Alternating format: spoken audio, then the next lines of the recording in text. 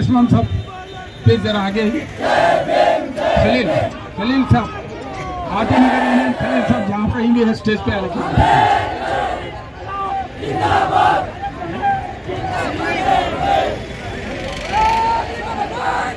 राम राम जाधव खलील अध्यक्ष साहबला पुढे घ्या. बोलो भीम भगवान की। बोलो भीम भगवान की। बोलो भीम भगवान की। कल जो गुलबर्गा के कोटनूर में बाबा साहेब अंबेडकर के मूर्ति का जो अपमान हुआ, उसके लिए बसव कल्याण में जो आज रैली निकला, निकाला गया है, इसके आयोजक दलित पैंथर के ओर से उनके राज्य अध्यक्ष मल्लप्पा साहब और हमारे बहुत ही करीबी और इस कार्यक्रम के आयोजक, हमारे रवि गायकवाड़ साहब, हमारे गोपाल महाराज साहब आए हैं यहाँ पर गफर भाई है, सभी, बहुत सारे लोग हैं, सब नाम लेता नहीं मैं वो होना नायक साहब है, हमारे सविता है, जबादार साहब है, दाऊद है, हमारे शिंदे साहब है, खलील भाई है, हमारे कॉर्पोरेटर बुक्के है, हमारे राम जादव है, हमारे रवि बोराले साहब है तो शिंदे है, सभी लोग, सब हमारे लोग ही है। और ये जो रैली हो रहा है इतने लोग यहाँ पर है? और इसको अभी जो लाइव चैनल में देख रहे हैं, तुम्हारे ममता स्वीट हाउस वाले हैं, ये तुम्हारे जेरोक्स वाले हैं, है ना? ये सब भी संविधान को आप भी यहाँ पर आना, क्योंकि संविधान की वजह से आपका दुकान चल रहा है ये संविधान नहीं मैं हर आदमी को बोलता हूँ, बाबा साहब अंबेडकर रहने दो, बसवन्ना रहने दो, बुद्धा रहने दो, एक जाति के लिए, एक समुदाय के लिए, एक पक्ष के लिए सीमित नहीं है, वो पूरे जगत के लिए सीमित है। तो इनका जब अपमान होता है तो हम लोग सोचना है, मेरे को बहुत खुशी हो रही इतने लोग आए यहाँ पर बोलकर, है ना? मेरे को बहुत खुशी हो रही है, क्योंकि अपमान उनको नहीं, अपमान हम सबको हुआ है।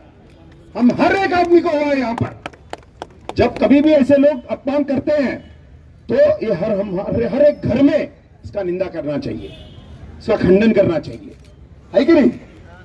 और अब सेंटर में बीजेपी सरकार होगा।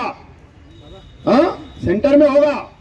लेकिन यहाँ पर कांग्रेस का सरकार है। मुख्यमंत्री है। डी के शिवकुमार साहब हमारे अध्यक्ष हैं उप मुख्यमंत्री है। अब जब हम बात कर रहे हैं यहाँ पे, वो चार लोगों को अरेस्ट किया है, पीछे डंडा डालते रहेंगे अब उधर। जो उसका चाचा, चाची कौन कौन है? इस षड्यंत्र के पीछे एक दिन में सब खुलासा हो जाएगा। तुम चिंता मत करो। और टेंशन मत लो तुम लोग। ठीक है ना? कौन कौन है? और कौन षड्यंत्र के पीछे? उनको भी अंदर डालने वाले हैं। आप समझ रहे हैं?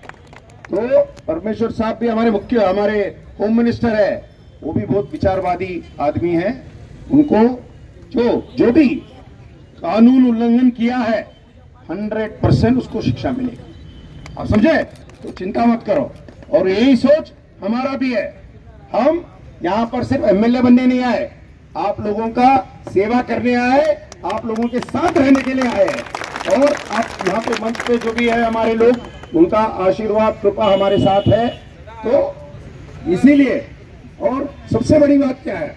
ये संविधान जो बनाया है, इसका हक, इसका जो है, आप लोगों, बच्चों, आप लोग पढ़ना चाहिए इसको समझ गए क्या? पढ़ना है। सिर्फ़ रैली में आकर बैठने का नहीं है। ये इनको हर पल, बाबा साहेब अंबेडकर को हर पल, हर घंटे, हर दिन याद करे तो भी कम मैं बोलना चाहता हूँ मैं आपको। ये क्योंकि जो भी महाग्रंथ है पहले बहुत ग्रंथ वगैरह थे है ना? लेकिन आज के तारीख में हाँ जब तुम्हारा ये डेमोक्रेसी में सबसे बड़ा ग्रंथ कौन सा है? कौन लिखा है उसको? तो उनके आप लोग ये बात ध्यान में रखिए। गायकवाड़ साहब भी अच्छा बात बोले तलवार का जमाना नहीं है। बुद्धि यूज़ करना। क्या करना है? दिमाग को। ठीक है ना? शांति से सुख शांति से कलम के ज़रिए हम संगठित होकर काम करना है। हम सब लोग संगठित होकर काम करना है।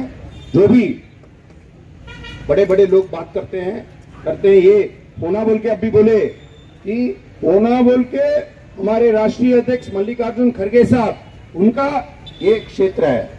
हमारे पिताजी दिवंगत धर्म सिंह साहब, उनका क्षेत्र है ये। इनके क्षेत्र में ये करना है बोले तो ये हंड्रेड परसेंट एक षड्यंत्र ही। है हंड्रेड परसेंट। क्योंकि इनको क्या दो, ये होना है, आने वाले चुनाव में कुछ तो धक्का लगने दो डिवाइड करना, लोगों को ये कर भेदभाव बताना है हाँ उनको बंटवारा करना है, यही नीति है उनकी, और ये नीति बदलेगी नहीं। लेकिन हमारे हाथ में भी डंडा है। बोले जैसे डंडा डालते रहेंगे आप। चिंता मत करो, हम सब आप लोगों के साथ है और आप लोगों को और एक बार माताएँ भी बहुत आए आप लोग। आपको भी धन्यवाद कहते हुए सभी आप लोगों को भी इतने धूप में, इतने देर से बैठकर आप सब लोग आए यहाँ पर। इसके लिए धन्यवाद कहते हुए मेरे दो बात खत्म